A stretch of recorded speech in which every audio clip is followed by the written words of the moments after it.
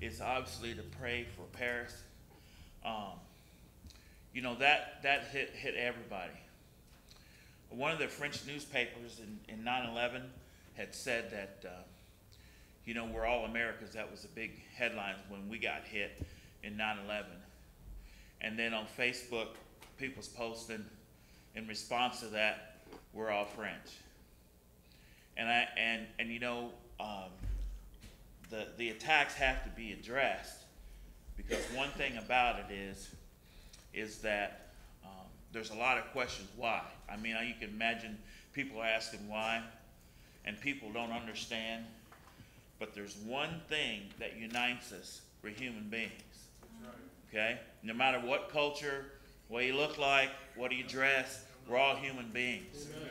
And when one of us dies, it touches us all. And one thing I was thinking about, and Lee and I, she's I call her Angel, so she she's my angel, but she's got so much insight about if you knew that was going to happen, how would you treat the others around you? If you knew, if you knew that was going to be your last day with that person, would you argue with them? Nope. Would you hug them a little longer?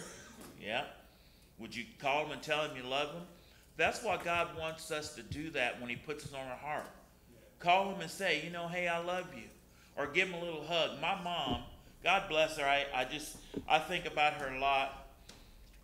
One thing she used to do, and I, and I don't know, I just, I was kind of a little tougher exterior. You know, I've been truck driver for years. You got to kind of develop that. But I hadn't been home in a while, and she was hanging clothes up. And I probably shared this before, but she, we had a clothesline up, up by, we had a picnic table in the front, and she saw my van drive up, and and she, you know, at that time she'd been in her 70s, and she was hanging clothes on the line, and she saw me, and I get out of the van, and here's come this old lady comes running at me. You know, she comes running at me like this with her arms wide open. Oh, my son, I love him, I love him, and her arms just wide open. You know, and I didn't, I didn't quite get why people run like this. You know, because they have nothing to hide. Their love is so big for you. And they just want to grab you and hold you. And man, she held me so tight. You know, Mama think we need to kind of let go a little bit. You know, you know that woman just squeezed you. Why? Because she loves you. And that's what we have to let the people know that we love them. As we're with the French, um, the, the people, the, all that tragedy, and, and there's going to be a lot of questions. But in my own life, when I had those questions, one scripture God led me to was Psalms 56. And this is really has been something that got me through all these things that, that have happened. And Psalm 56, I'm going to read a few verses in here. I'm going to start with Psalm 56, 3. What time I'm afraid, I will have confidence in you. I put my trust and reliance in you. By the help of God, I will praise his word. On God, I lean, rely, and confidently put my trust. I will not fear. What can man who is flesh do to me? All day long, they twist my words and trouble my affairs. All their thoughts are against me for evil and my hurt. They gather themselves together. They hide themselves. They watch my steps, even as they have expectantly waited for my life. They think to escape with iniquity, and shall they, in your indignation, bring down the peoples, O God? You, you number, I love this, you number and record my wanderings. Put my tears into your bottle. Are they not in your book? Then shall my enemies turn back in the day that I cry out. This I know, for God is for me. That's what it is. God before you, who can be against you? All the stuff that has happened, long as I know God is with me, I can make it. Yes. And that's where all the questions, all the things that you got to get that deep down in your heart. In God, this verse 10, whose word I praise, in the Lord whose word I praise. In God I in God have I put my trust and confident reliance. I will not be afraid. What can man do to me? Your vows are upon me, O God, I will render praise to you and give you thank offerings. For you have delivered my life from death, yes, and my feet from falling, that I may walk before God in the light of light and the land of the living. I want us to always remember that this morning as we think about what has happened and realize that no matter what happens in our life, God is still God. Friday night, when we was having prayer, one of the things that was going through me is no matter what happens, God would just put no, no matter what happens, you walk with God.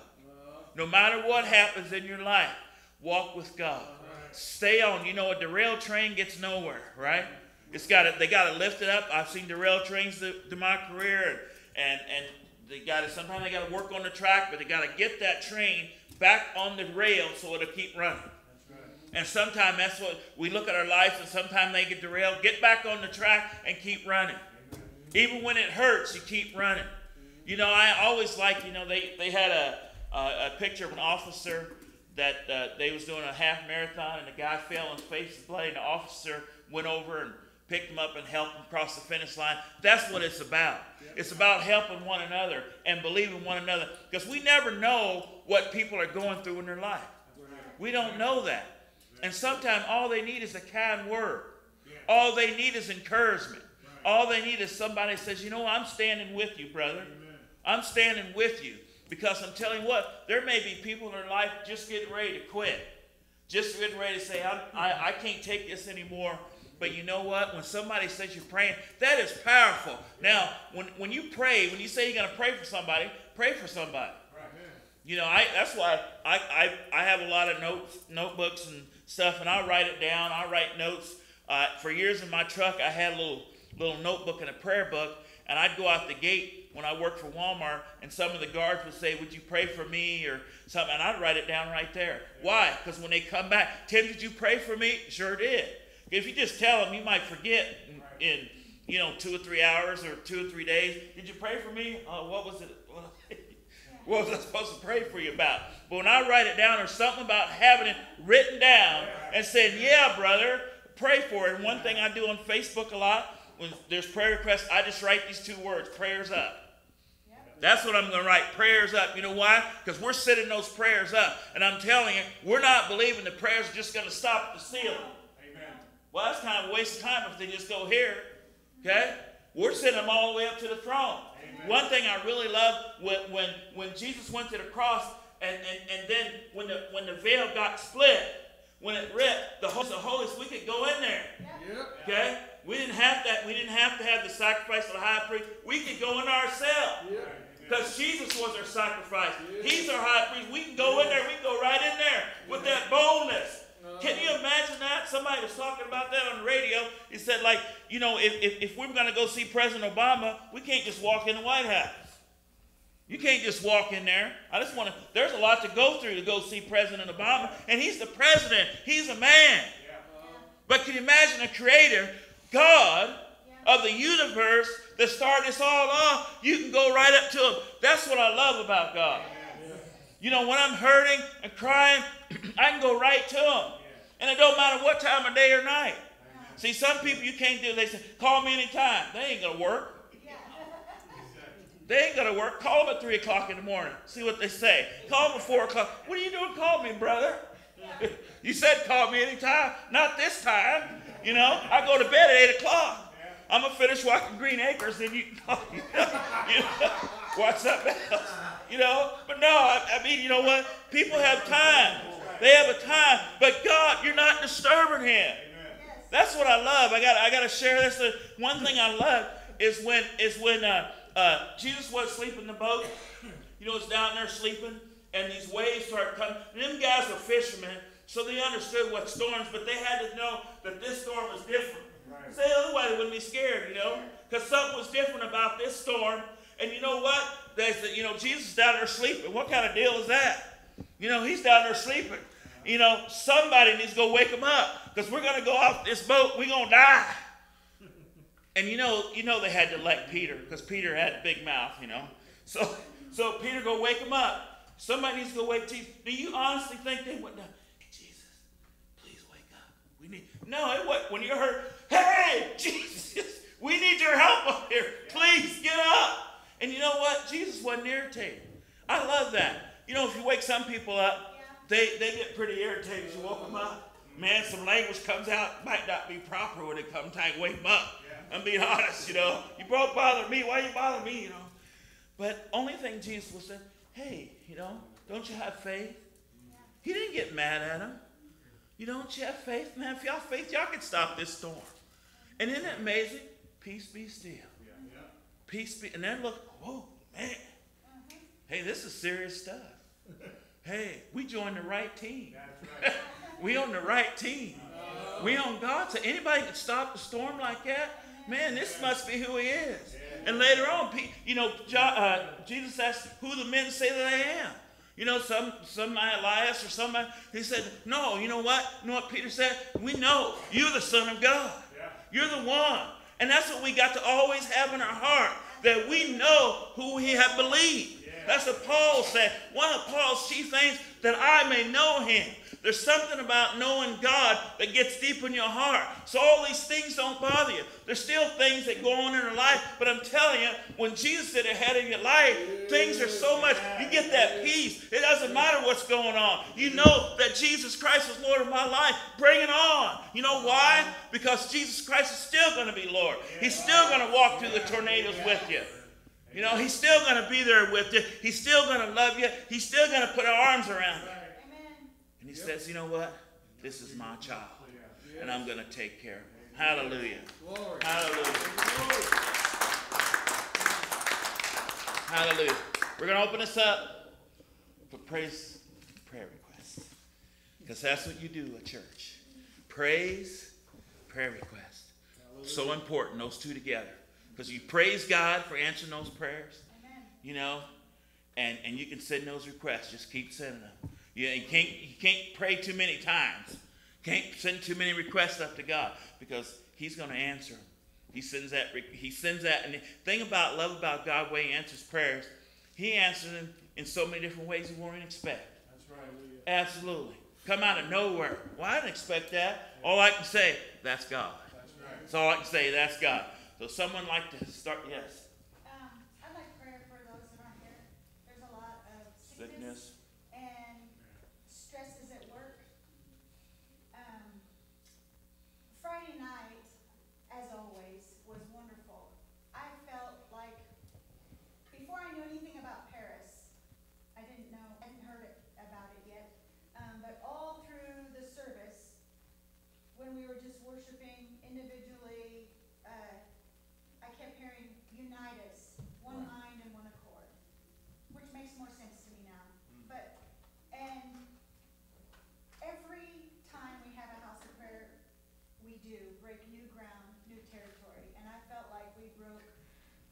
you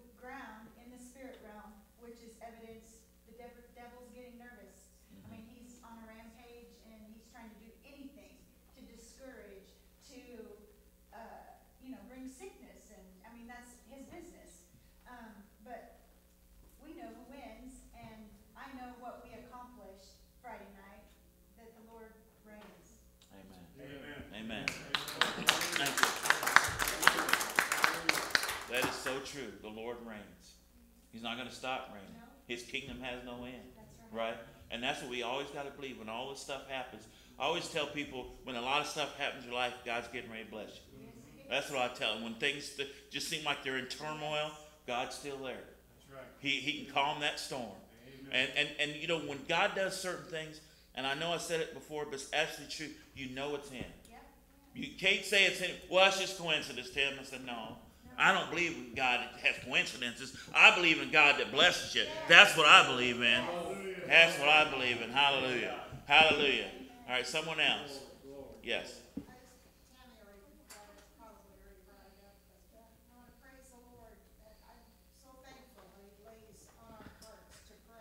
Yes.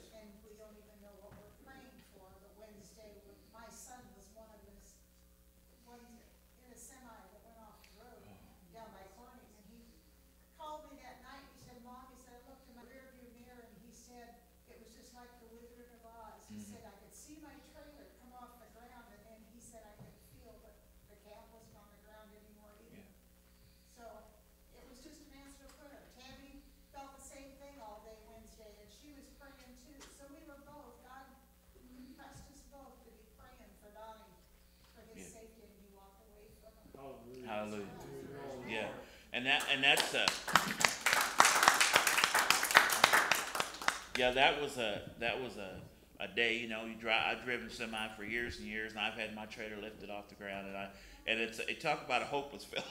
I mean you just like you know you know you can't do anything just ride it out you know and I've had that and they they end up calling our trucks in our trucks was out in the road that day and they could make the call to bring them in because we we do have students and but you know I was glad when all the trucks get in safe. But yeah, you watch watch those things and and all the years you just you know I I was always so thankful when I got back to the yard.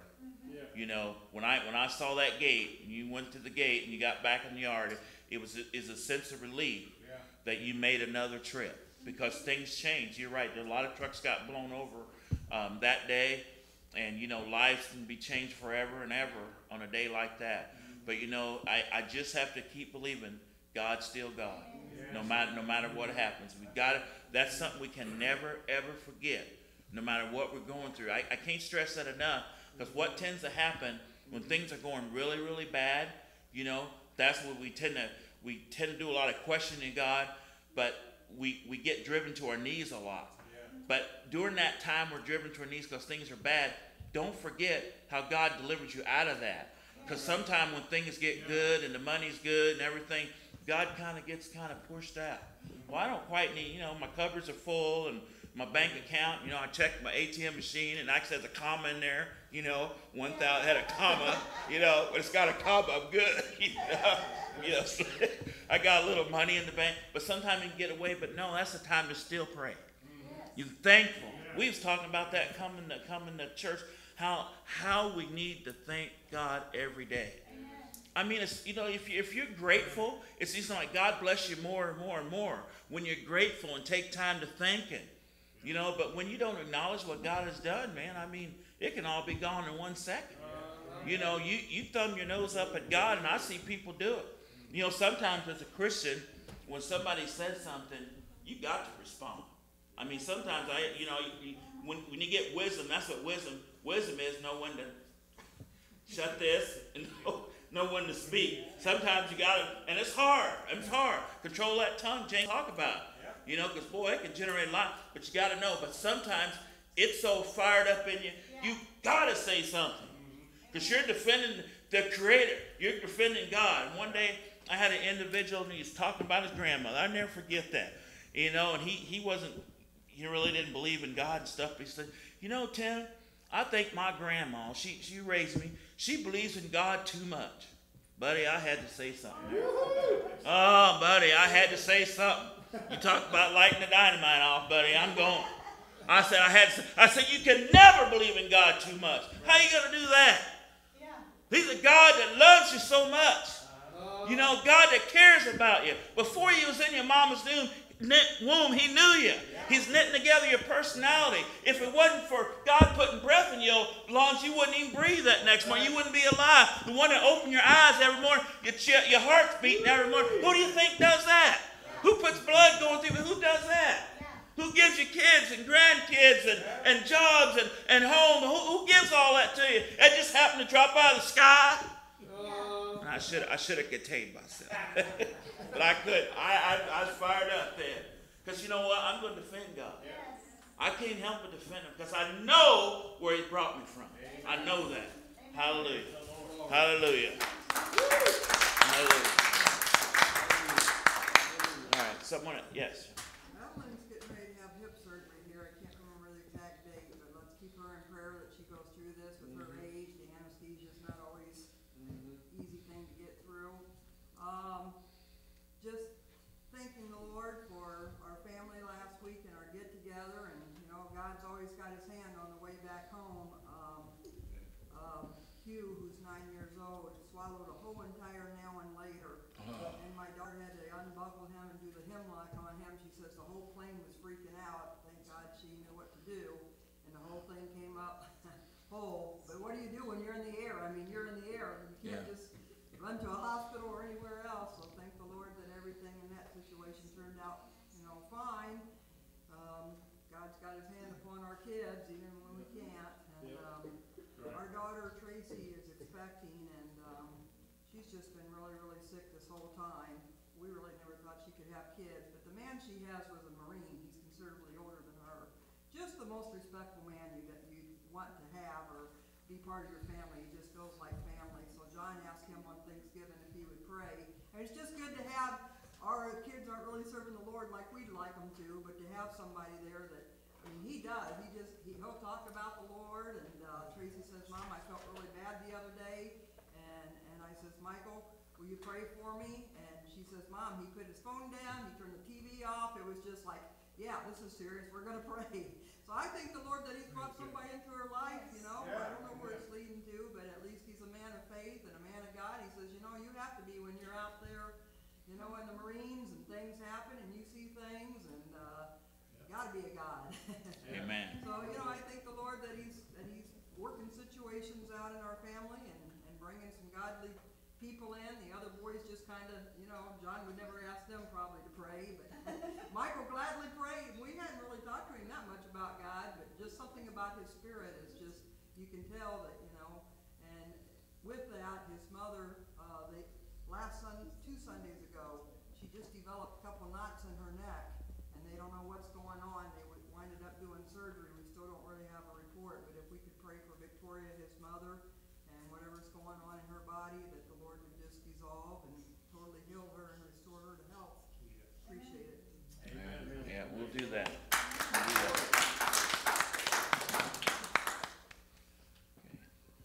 Okay. Someone else? Yes.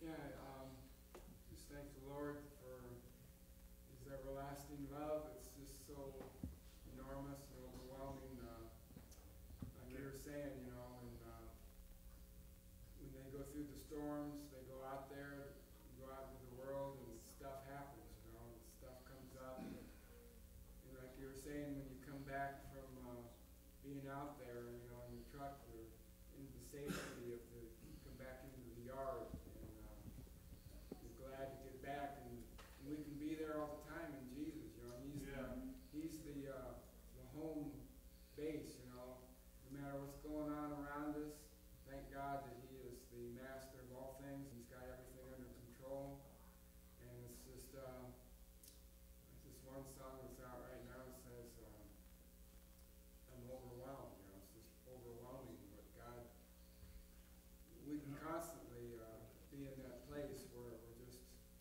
awestruck by Yes. how great He is and, uh, and that He's got the victory and we're, we're part of that, you know, we're Yeah. not, uh, looking for it, we've already got it within, we just have to realize that, uh, God's got it all together and we're complete in Him, and I just thank God for a Bible believing church and brothers and sisters where we're getting established in Him. and Hallelujah. Praise God. We're just, uh, on our way to victory. Praise the Lord. Amen. Well, that's John. And I mean, God's love it is, is overwhelming. Uh, We used to sing that song, "God is an awesome God," and that and that's absolutely true. When you think about what God has done for you, what He's gonna do for you, all the blessings He you He's given you. I mean, I, I mean, just just you know, one day I uh, had a uh, I was doing a church service and it, it, it always you know I always like to do illustrations that people would never ever forget. But I did it with toilet paper one day. I took I took a roll and it took me two hours, and on each little ply, I wrote one blessing of God. I wrote, and it took me about two hours. Boy, I was stretching it after that. You know, it was right thumb, left thumb, big toe, little toe. You know? I was stretching, and then I had the church. People in church get up, and I stretched that clear around the church. Uh-huh. And I said, each one of those a blessing. You know, and, and people looked at it, never forgot it. Man, I said, well, if I use a double roll, I could keep going around and keep going around and around and around. But but it, what it was designed for, think about how many blessings God gives you in one. Just count them. Somebody said you ought to count your blessings more than you do your sorrows. I mean, they're overwhelming. If you put them on a scale, you know which one's going to balance out all the blessings. You know, all the blessings. You're going to have so many blessings. You know, and and God does it. I just I just feel like uh, I I have felt it this year that that's where God wants us to be, is to start counting our blessings, start praising Him, start thanking Him. You know, for all that He's done for us. Because I think that's where it takes you in a new realm. It takes you into something powerful.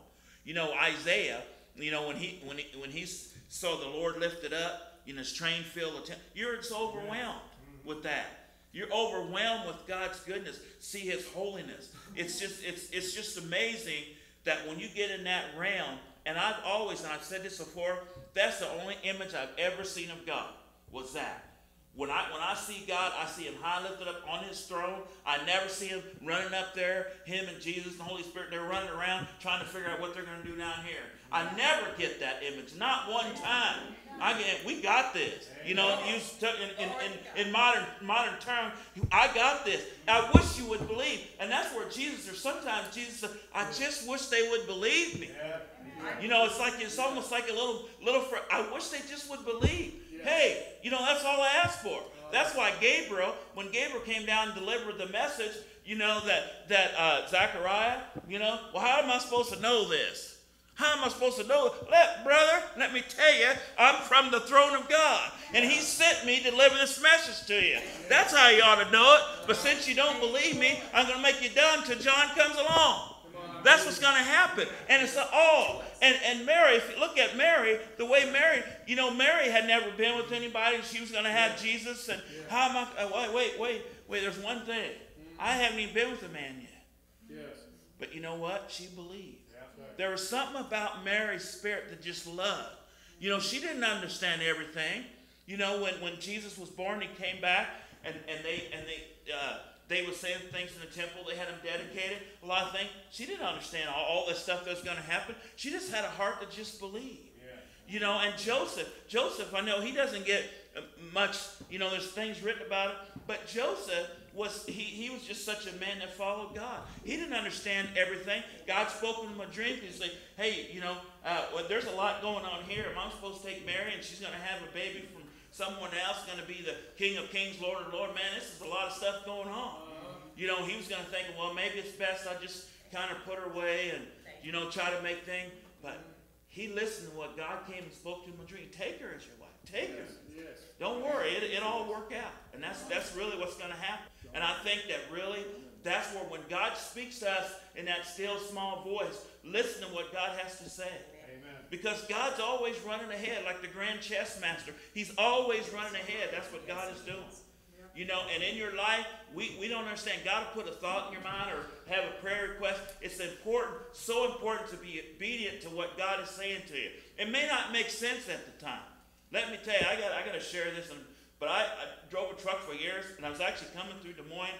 And you know, I've learned because I've made mistakes. Sometimes I didn't listen quite as good as I should have but the next time I guarantee I get it. Yeah, so yeah. I, I'm I'm coming through Des Moines, and they had tornado warnings out up here.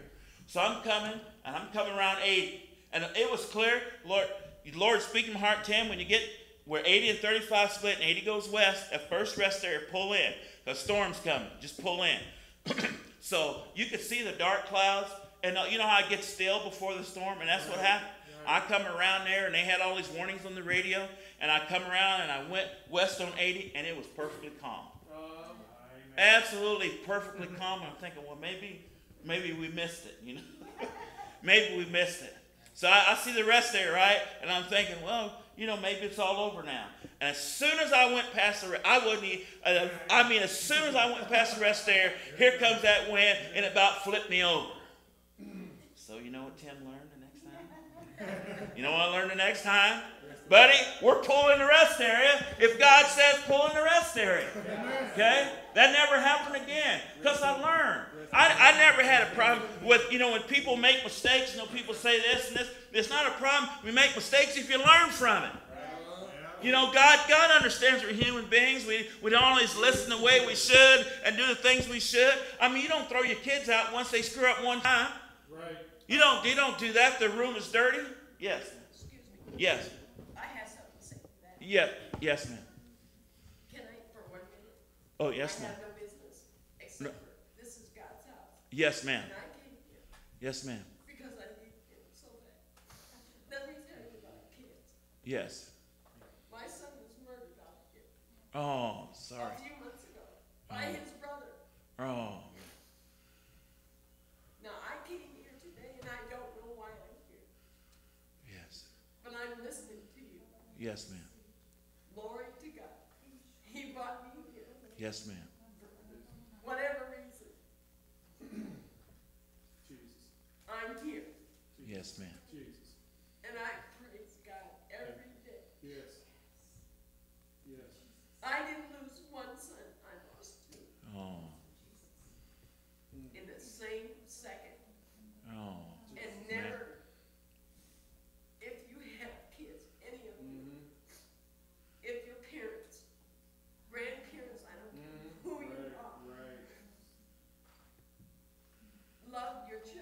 Yes. Yes.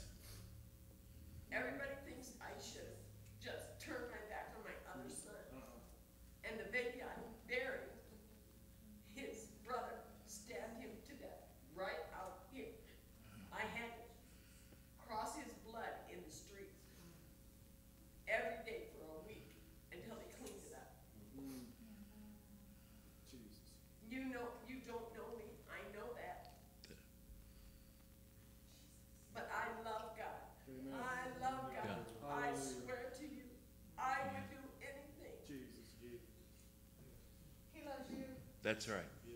He loves you. He loves you, man. So, okay. and your sons. That's true. Uh, Mammoth BR, can we pray? pray what, what's your. Uh,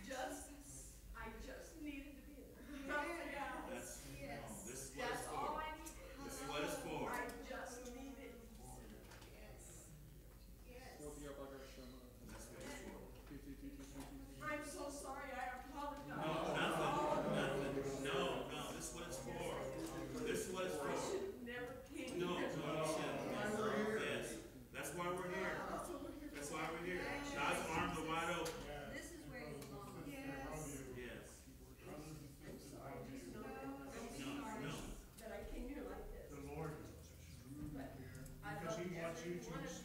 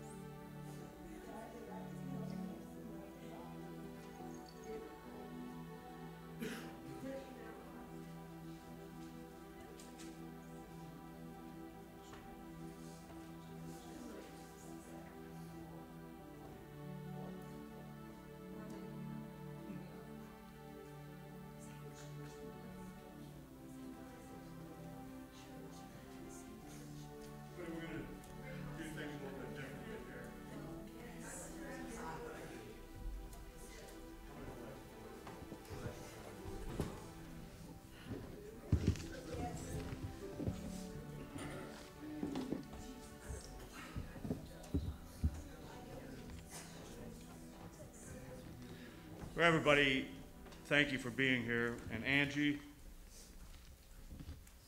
if you can be patient, I believe what the Lord has given me is specifically for you. It's for all of us.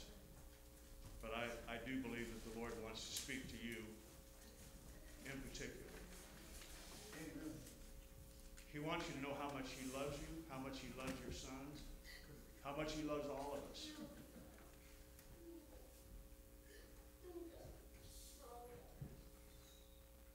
Let's go to Romans chapter 5, verses 1 and 2. Everybody just continue to pray for Angie, allow the Holy Spirit here.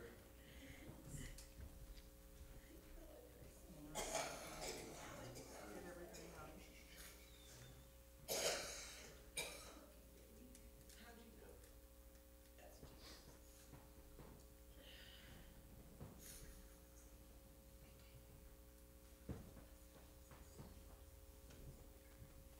Romans chapter 5, verses 1 and 2.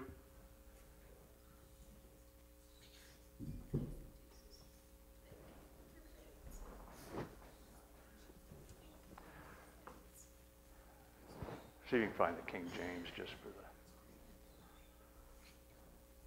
Therefore, being justified by faith, we have peace with God through our Lord Jesus Christ, by whom also we have access by faith into this grace wherein we stand and rejoice in hope of the glory of God. But God commended his love toward us in that while we were yet sinners, Christ died for us. So we're, we're in grace, we're in a position of acceptance by God because of God not because of us, not because of what we've done, good or evil, right or wrong, but simply because God is love, because God loves us. Amen? Especially you. God's love is always, always at its most tangible, most experiential, uh, transformative when we are at our lowest. Grace is like water, it's like a river. It, it, it, it flows to the lowest place. And God's grace is flowing to you right now, Angie, even as low as you may feel, as bad as you feel, as much of a failure as you might feel. This, this love of God, this grace, comes from outside of us. My son died because of me. Yes, he did. He was protecting me. My We, we can't love ourselves, Angie. We can't love ourselves like this, at least not in the middle of real failure. We know we fail. We know we failed. We, we want to take responsibility, and that's, that's fine. But God is trying to get us to understand that our self love, our self respect, you can't do it, amen, when you're in the middle of failure. The other thing is, we don't expect God to love us in the middle of our failure. Grace is always a surprise. We're programmed for reciprocity, we're programmed for behavior and punishment. So when somebody withholds judgment, especially when we deserve it, we're surprised. Angie, I want you to be surprised today. I want all of us to be surprised today by God's favor, by God's love, by God's forgiveness when we don't deserve it. None of us deserve it.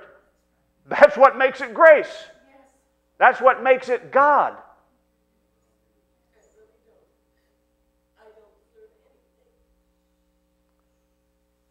The law is the first word. That's religion. That's ex- expectation, what, we, what, what, what, what is demanded of us. But grace is the last word. The law exposes us. Moral values and, and expectations.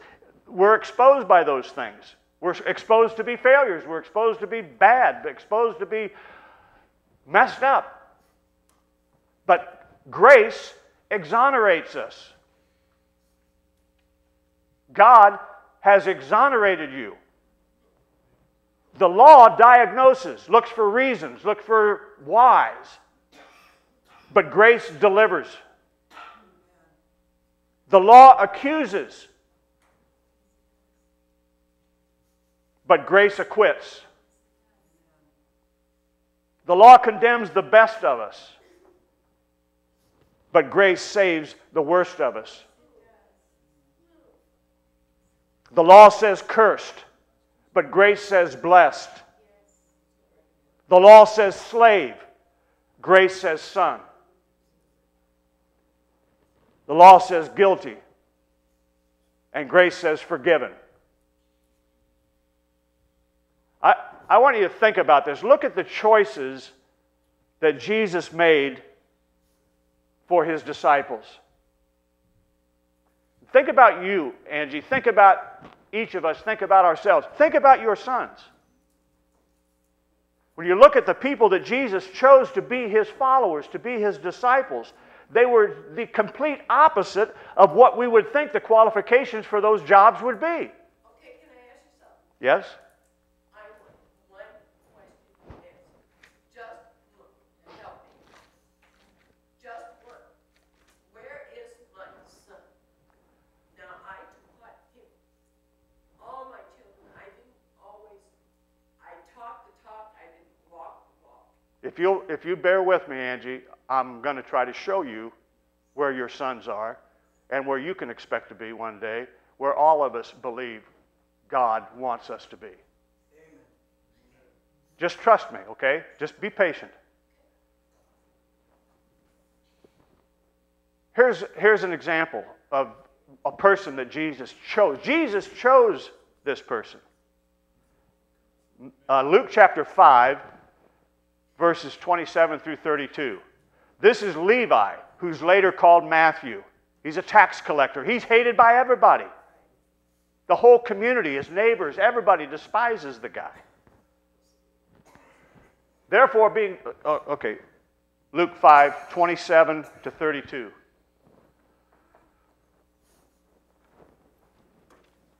And after these things, he went forth and saw a publican. A publican is just a sinner. A publican is just a average no good.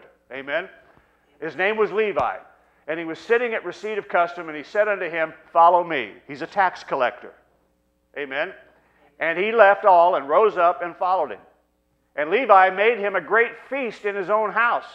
There was a great company of publicans, more sinners, and others that sat down with them. But there's the scribes, these religious people, and the Pharisees, they murmured against these people that Jesus had chosen, saying, Why do you eat and drink with publicans and sinners? And Jesus answering said unto them, They that are whole don't need a physician, but they that are sick. I came not to call the righteous, but sinners to change their mind. To change their mind about what? About God. Praise the Lord. Now, Jesus turns everything upside down. And he's wanting to do that in your life right now, Angie, in all of our lives for that matter. Our whole ideas of what God is like, who God is, how does God respond to my behaviors, my long term rejections, and, and so on and so forth. But Jesus turns everything upside down when it comes to what we think about God and what we think is good. Here's a tax collector. They were not respectable people. They were hated. They were traitors. They were enemies of their own people. They were like loan sharks. They were like mobsters. That's what they were. They, they were uh, extortionists. They were despised. But here, Jesus interrupts one of these people at his office, at the place where he's doing his dirty work. And Jesus comes to him right there where he's at, right where he's doing this stuff, and he says, Follow me. Come with me. And what's the response? Levi throws a party. Amen? He had the liquor, the food, the whole thing's going on here. Amen? This is, again, this is not a religious person. So he throws this party, and who does he invite? People just like him, because they're the only ones that will come. Right? Because they all dislike him, because he's a bad guy. But Jesus comes to the party, and so does a bunch of other quote unquote sinners, bad people. Amen? But he invites them to a party, not to some holy ceremony, not to some religious activity, but a party. And he doesn't throw a party for the righteous people, but he throws a get together for a bunch of scoundrels just like him in his house. And the scribes and the Pharisees object, naturally. So look at Luke chapter 5, verse 30.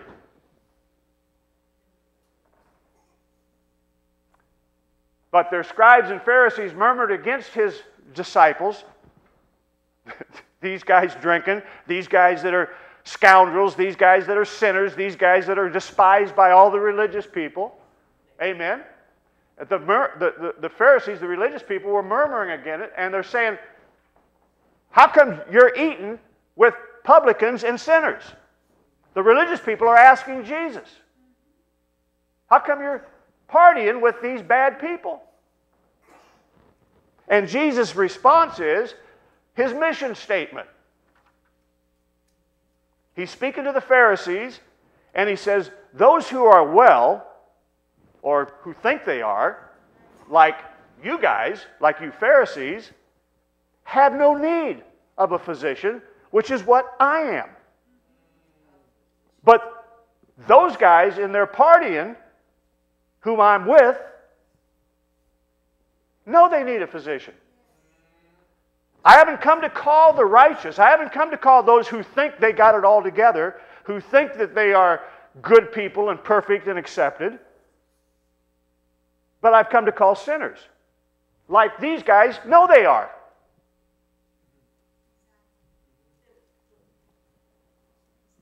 And I've called them to change their mind about how God thinks of them. Jesus didn't just talk the talk, Jesus walked the walk.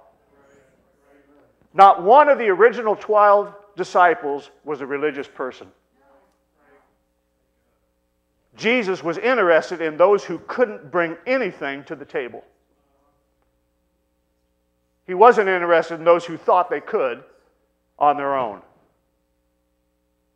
Jesus knew that the only people, only those who, who didn't have anything going for them, could accept this one way transaction. This just God doing everything, just God loving, just God forgiving. I mean, you only go to the doctor if you think you're sick, right? You don't go to the doctor when you feel great, but when you suspect there's something wrong, you go to the doctor. Angie, thanks for coming. The doctor's in. Hallelujah. Amen. That's why we're all here. That's why every one of us come. Okay, Romans chapter 5 and verse 6.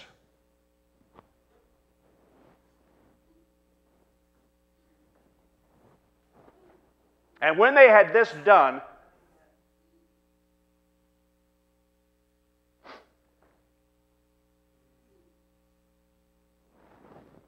praise the Lord, hallelujah. For when we were yet without strength, that's us, in due time, eventually Jesus came and died for who? The ungodly. That's the Bible speaking. The ungodly, not just people that are going through a bad time, not just people that are down on their luck, not just even people that are brokenhearted and suffering, but to the perpetrators themselves. Hear me. The tax collectors, the prostitutes, the murderers, the adulterers, That's who Jesus came for. Your sons were at the top of the list, the priority of God. All of us are. Because we are all murderers in our heart. We're all adulterers in our own heart. We're all thieves and liars and robbers in our own heart. Just because we're not actually maybe doing it doesn't make us guilt, not guilty before the, the law. Because we want to do it and don't do it just because we're afraid of the consequences doesn't make us righteous. We are only righteous because of Jesus. It's not just theoretical sinners that Jesus comes for, but actual flesh and blood repeat offenders like me, like you, like everybody. And that's great when it's directed to the me. It's great when that grace and that love is directed towards me. But it's kind of like the Pharisees. Many, many Christians don't like it when grace is directed to our enemies. We want it because we need it and we know we need it. But it irritates us when God reaches out to somebody that we think doesn't deserve it because they've been bad, because they did a horrible thing, because they, they took a moment in their life and screwed things up.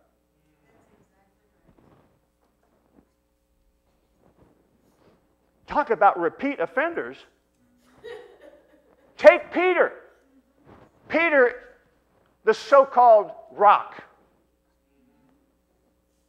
Except for Peter being the first to acknowledge that Jesus was the Christ, almost everything he did in the Gospels ended in correction, rebuke, or just simple failure. Jesus calls him a rock. Why? You know, some people wake up on third base and they think they hit a triple. You know what I'm saying? You didn't do anything, you just woke up there. It's just God's goodness that puts us there. And that's what happens so often with religious people. We wake up in a situation, think we had something to do with it. Here I am. I'm, I hit a triple. I'm on third base. No, you didn't, idiot. You just woke up. I put you on third base. Right? Hallelujah. Jesus calls Peter a rock. And that's because Jesus had a foundational revelation, a basic truth that Jesus is the Messiah, that he is the Savior, that he has come, amen, to reveal God. So it's no coincidence that Peter was both the weakest, and I am not taking the time to go through all of his failures, he had plenty. He was both the weakest and the one who recognized the Savior. And it's not a coincidence. Because he knew how much he needed a Savior. Like all of us, Angie. You've got great revelation. And you're here today to express it. You're saying, I know there's a God. I know there's a Savior. I know there's, I know there's answers. And He has them.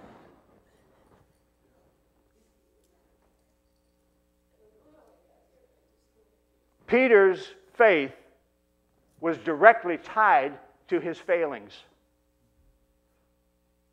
Think about it. Your expressions today is, yeah, you you, feel like, oh, I'm a failure. I, I, everything's wrong here. But your failure is the greatest expression of your faith.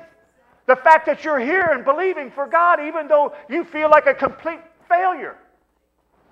Everybody's there. Everybody goes through those things. Everybody has issues. You know, we, we major on the drinking or we major on the uh, other ways that we try to deal with our failures or our self image of being a failure. God's not put off by it, He's not freaked out by it. He came right to the place where they were having the party. He went right to where they were dealing with their pain and their hurt and their insecurity and sat down with them in the middle of it. He's not freaked out by our humanity. We are. Religious people are. He's not. John 21, and I'm going to read several scriptures here. So, Sheila, if you can, John 21, we'll read verses 4 through 14. Now, this is after the resurrection. Jesus has already been crucified. Everything that's happened has already uh, transpired. He was put in the grave. Three days later, now he has resurrected. Amen?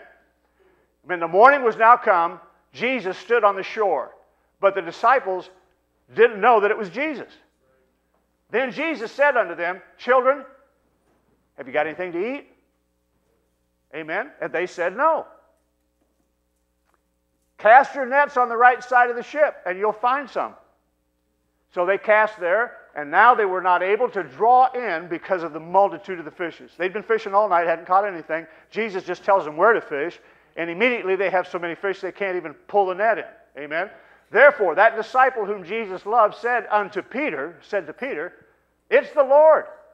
Now, when Simon Peter heard that it was the Lord, he girt his fisher's coat unto him, for he was naked, and he did cast himself into the sea. And the other disciples came in a little ship, for they were not far from land, but as it were 200 cubits, dragging the net with fishes. As soon as they were come to the land, they saw a fire of coals there, and a fish laid thereon, and bread. So they got a fish barbecue going. Jesus said unto them, Bring of the fish which ye have now caught. Simon Peter went up and drew the net to land full of great fishes, and 150 and three. For all there were so many, yet was not the net broken. Jesus said unto them, Come and dine. And none of the disciples asked him, Who are you? Because they knew it was the Lord. Jesus then cometh and taketh bread and giveth them, and fish likewise. This is now the third time that Jesus showed himself to his disciples after that he was risen from the dead. Amen. So, Jesus, I want you to look how he addresses his unbelieving disciples those who had deserted him at the time he needed him most. Those who had such a problem believing that he had been risen from the dead. He calls them children. He's calling you his child, your sons. The disciples had every reason to expect punishment because they had failed in every possible way.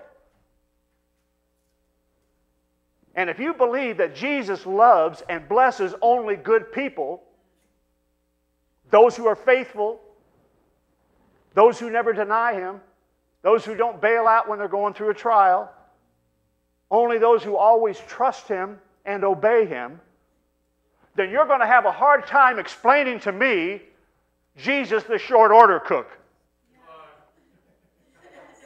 Amen. John chapter 21, again, verses 15 through 17. I hope you're hearing this here, Angie. So when they had dined, Jesus saith to Simon Peter, Simon, son of Jonah, lovest thou me more than these? And he saith unto him, Yea, Lord, thou knowest that I love thee. He saith unto him, Feed my lambs. He saith to him again the second time, Simon, son of Jonas, lovest thou me? He saith unto him, Yea, Lord, thou knowest that I love you. He saith unto him, Feed my sheep.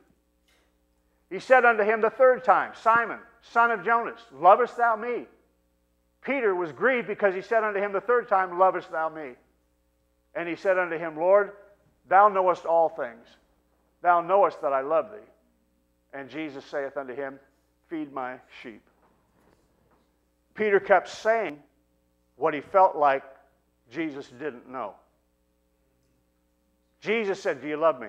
Yes, I love you. His love was not perfect because he's a human being, but he did love the Lord in spite of all of his failure, in spite of denying the Lord three times, in spite of trying to kill one of the people that came after Jesus when Jesus said, Put away your sword after he cut the guy's ear off. Saul who later becomes Paul, is a murderer. Not just a murderer, but a murderer of special people. a murderer of us, a murderer of Christians. Amen? And yet God chooses this guy, this murderer, to be the apostle of apostles. Amen? Peter was an utter failure. Peter, a complete failure on every level. But Jesus commissioned and used him anyway. Why? Because the success of the church doesn't rest on Peter's ability or yours or mine.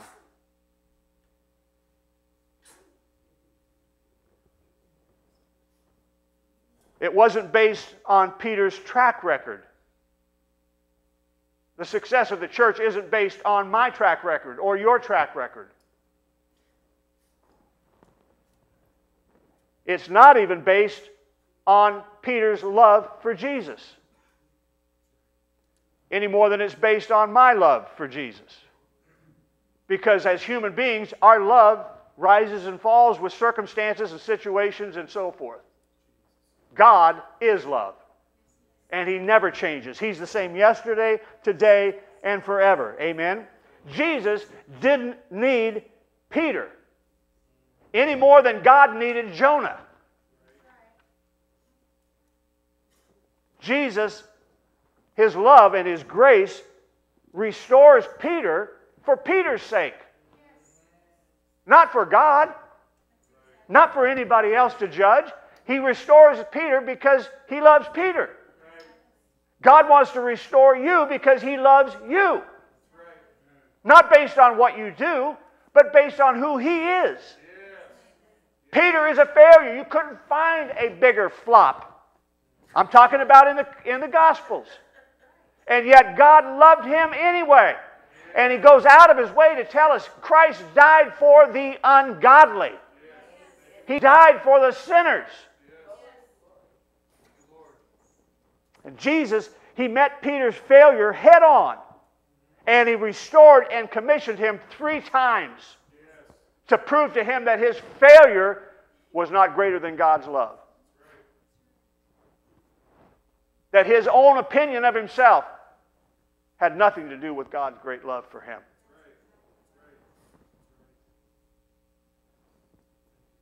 Amen. Remember now, it's Jesus that's doing the feeding here, not Peter. Amen. Peter spent all night fishing. How'd that work out? He worked his tail off trying to get what he was unable to get.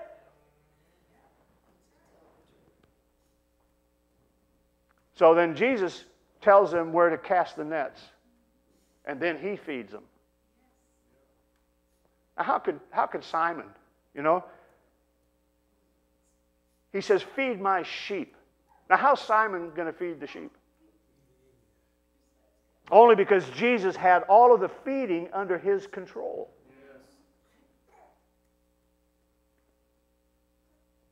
So, what qualifies us for acceptance with God? I can tell you it's God's devotion to us. It's as plain as I can say it. The value of our lives, your sons' lives, my children's lives, my grandchildren, the value of those lives rests in God's infinite, incomprehensible, unconditional love for us, not in our love for Him.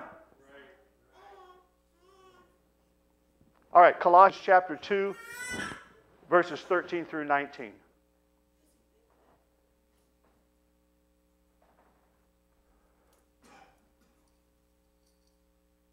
And you, being dead in your sins and the uncircumcision of your flesh, hath he quickened together with him, having forgiven you all trespasses, blotting out the handwriting of ordinances that was against us, which was contrary to us, and took it out of the way, nailing it to his cross.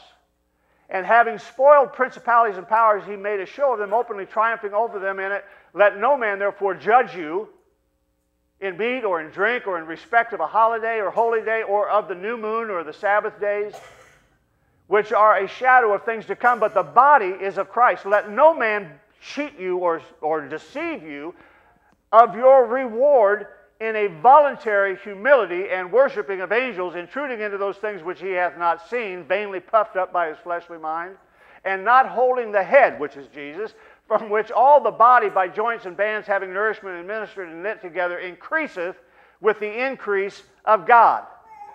Now, I'm going to just say this. If your sons were believers, they are with the Lord. The one who's deceased is with God right now, and the one who is, I suspect, in prison will be with the Lord. And so will you. You say you're, you're, you're giving them, uh, you know, you're giving them a free ride. No, I'm telling you what God said. It isn't based on the fact that they did something evil in a moment. It's what Jesus did for an eternity that has uh, made them accepted in the beloved. I preached a message here a few weeks ago about Jeffrey Dahmer, a cannibal. Oh, yeah.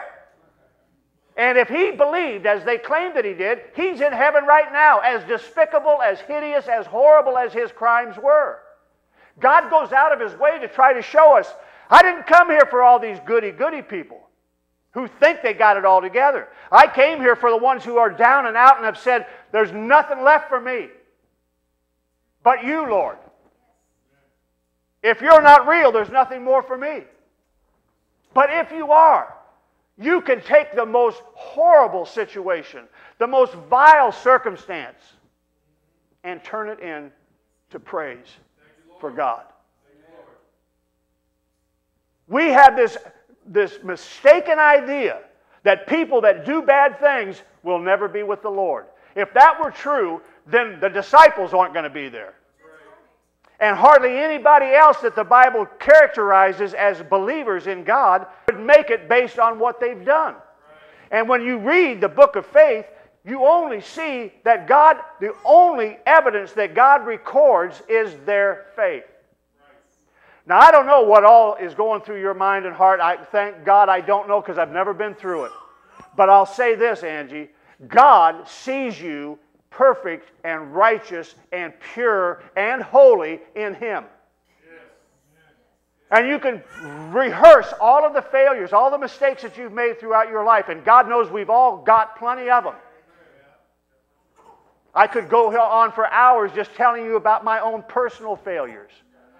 Oh, sister, you don't know Nathan. You just know me now because I'm up here preaching. But I'm telling you, I lived a lifetime in sin. And if it were dependent on me to this day to be acceptable to God based on my behavior, I'd still come short. Because his bar is perfection. And that's why Jesus came to be our perfection. So that God can look at you and say, This is my beloved daughter in whom I am well pleased. Because it's not based on what you do, it's based on who you are. When you got born again, your outward person didn't change. What changed was your spirit. It was born again, it was made alive to God. That's true of your sons. And if they were believers, and I'll stand before God with this, if they were believers, they are with the Lord today. Because it's not based on what we do in this life, that gets us to heaven or gets us acceptance with God. It's what Jesus did in this life that has made us acceptable to God. Yes.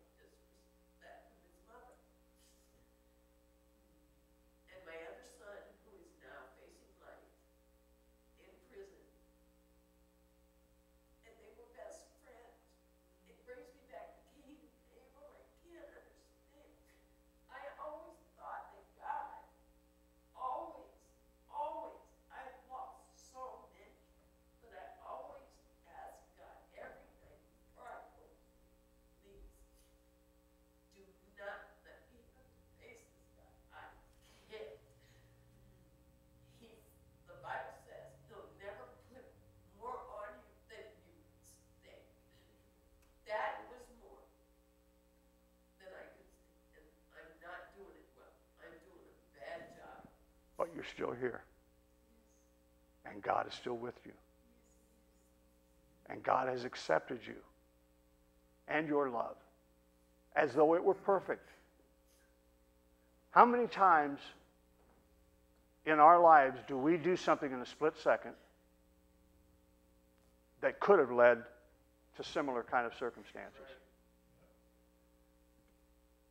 And if you think about it, Jesus said, if you just say to your brother, I hate you, you're guilty of murder as far as the law is concerned.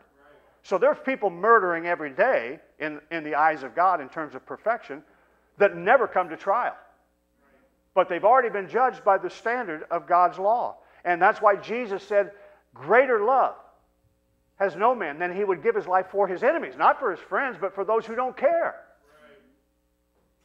So I can say, I can tell you, this doesn't take a scholar. God's love for your sons supersedes any momentary action or even a lifelong activity of bad behavior is still covered by the blood of Jesus. If it isn't, we're all in serious, serious trouble. If his sacrifice isn't sufficient for everybody, it's not sufficient for anybody. And this whole scripture is talking about failures, losers, and that's how we all feel at times. Yours is an extreme situation, no doubt, and I sympathize. But we all feel like the same thing. We all feel like we have failed. We failed our family. We didn't do enough here. We, if we'd have just been better about this, they wouldn't be going through some of the things they're going through now. If we'd have been more consistent, if we'd have been this or if we'd have been that. But Jesus paid the price. The, the problem is there are consequences to behavior, but not judgment from God. In other words, if, if I run out here and rob a liquor store and, and, and I get busted, I can't say that's God's judgment. God loves me the same before I rob the liquor store as he does after. The difference is the man got me because there's a law that says I can't do that and get away with it. That's not God's judgment, that's just the law. And so we look at a situation like this with your sons, and by no means do we condone it any more than we would in our own families, but we understand it. And how much more does God, who loved those two boys, believe it or not, more than you can ever imagine? As much as you love them, God's love is greater.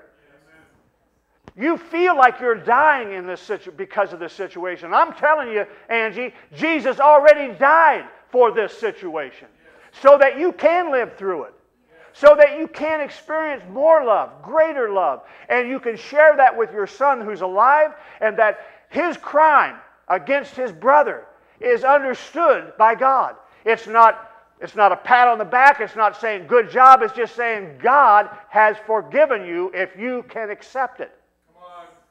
His life is not over because he killed his brother and now he's in jail. The life that he knew is over, but his eternal life will go on as though nothing had ever happened. In heaven, he won't be running around with a sign on his back that says, Oh, this guy squeaked in, he killed his brother. No. Any more than it would be there for Abraham with a sign on his back. Here's Father Abraham who pimped his wife. I mean, I'm just saying, not to be crude, I'm just saying we, we have missed the real depth and truth of the gospel. The gospel is God's love for sinners. And that love doesn't stop when we get saved because we still sin. But we are accepted in the beloved as though we knew no sin. Because he who knew no sin became sin for us who did nothing but sin, so that we could become the righteousness of God in Christ. It's a big thing to get your mind around and your heart around today, but I really believe that God's trying to, trying to share something with you, Angie, that you have you wanted, you hoped for, but couldn't believe that it would be possible. But I'm telling you, with Jesus, if those boys were believers, I'm not talking about being religious people that went to church every Sunday and never did anything wrong, but believers, that Jesus Christ was the Savior then they, you have every reason to believe that through eternity you're going to be with those boys. And one of them's already with Jesus, enjoying the love of a father. He's not lonely and hurting and, mis- and in misery because he's not here with y'all. We're hurting. You're hurting because he's not here with you. But he's in a far better place. He wouldn't come back for anything. And you have that same thing to look forward to, and so does your other son. There's consequences, and he'll, he'll pay a price. But it won't be an eternal price because Jesus was the only one able to pay the eternal cost of sin. And he did it. And he did it just fine. He did it good. He did a good job. And he's trying to give you hope this morning that yes, life will not be the same in this world, but it doesn't have to be over. Jesus still wants to bless you and to walk with you and to heal your heart and your body. He wants to give you the best that He can give you that you are willing to accept in this life, just as a down payment on what you've got coming in the next life. And that's true for your sons. It's true for both of those boys.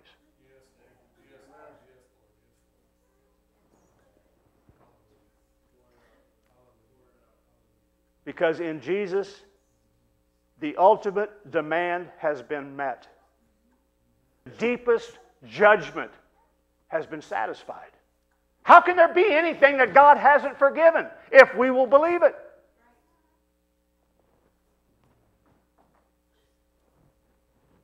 We don't have to live any longer under the burden of trying to appease the judgment that we feel we deserve. Stop it. The judgment we feel is just that a feeling, not reality. The reality is, in spite of what I'm feeling, God has accepted me. God loves me. God has forgiven me. God has done everything within His power, ultimate, all power, to give me a hope and a life and a future. This is good news. In fact, it's the best news. The sins that I cannot forget, God can't remember. We believe it or we don't believe it. If you believe the gospel, if you believe the good news of Jesus, those things you can't get out of your heart, out of your mind, God doesn't even know they exist. He's cast it as far as the east is from the west. There is no remembrance of our failures and our sins with God. The things that we struggle with the most, God doesn't even know what we're talking about. He just sees a beautiful daughter and sons in whom He said, I am well pleased because of Jesus. I know it's, it's insane from a natural perspective. It makes no sense in the natural. That's why we have to worship Him in spirit and in truth. Because your mind will lead you into all sorts of stuff that says, I can't do this. I, I can't worship. My worship is so flawed and so messed up that God won't accept it. That's a lie of the devil. God sees you as perfect in Him. And your worship is like a sweet aroma, a fragrance of perfume that comes up before God. And He's saying, Thank you, Angie. Thank you. I appreciate that. Amen. That makes me feel good that my children love me and praise me. Thank you for trusting me, Angie, when everything in the world told you just forget about it and give up. There's nothing more you can do. You can be the greatest testimony for Jesus Christ by just believing in his love and accepting that forgiveness and love for yourself and your sons. Most people never get an opportunity, and most would never want to take the opportunity. But some people do. And it shows a great trust that God has for you, a confidence that God has that this gal can make it. She may not believe it today, she may not think she can make it today, but she will. And she'll give the glory to me. She'll praise me for the rest of her life for what I'm doing in her life. Praise the Lord. Hallelujah. Hallelujah. Let's, let's wrap this up. Colossians chapter 3, and we'll just read verses 1 through 4. And then I, would like your worship team, if you'll come up, let's, uh, Let's just worship the Lord and thank Him for what He's doing in Angie's life and in all of our lives. And believe that this is a breakthrough moment, an opportunity for God to be more real than He's ever been in our lives. Praise the Lord. For I would that you knew what great conflict I have for you and for them at Laodicea and for as many as have not seen my face in the flesh, that their hearts might be comforted, being knit together in love, and unto all riches of the full assurance of understanding, to the acknowledgement of the mystery of God, to the Father and of Christ, in whom are hid all the treasures of wisdom and knowledge. And this I say, lest any man should beguile you with enticing words. Praise the Lord. Let's try Colossians chapter 3.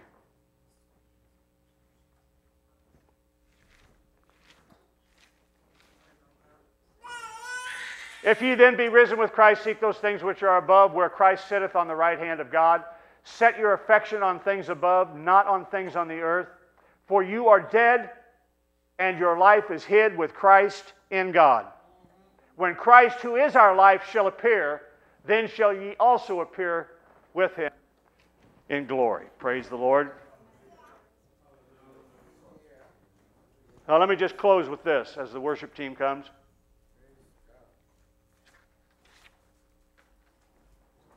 Is anything greater than God? Are my sins greater than God? My failures? My weaknesses? Nothing is greater than God.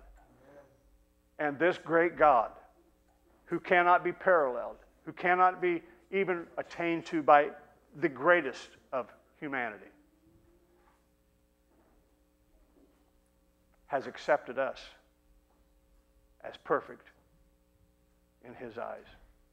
With all of our flaws, with all of our failures, His love continues to reach to us, to embrace us, to soothe us, to comfort us, and to empower us to be more than we ever dreamed we could be because it isn't us, it's Christ in us. Let's worship the Lord now and just thank God. Just let the love of Christ pour over you and accept it. And believe that in the worst of situations, God's love is greater than the circumstance. You say, well, I, I don't know how anybody could relate to this. God can relate to it. He watched his own son die a horrible death by his brothers. He came to his own, and his own received him not. In fact, his own murdered him. But God didn't stop reaching out for those murderers. He, in fact, took that death and applied it to their account so that they wouldn't be judged for the very murder that they had committed. So that they could know that God is a God of love, a God of mercy, a God of compassion. He's not angry, He's not judging. The only judgment that's going to come will be the judgment of those who have not believed in Him. Everyone else, the judgment's already fell and it all fell on Jesus. All of his wrath was poured out on Jesus. That means there was none left over for your sons, or for you, or for me as believers. For God so loved that he gave. Let's thank him this morning. Praise the Lord.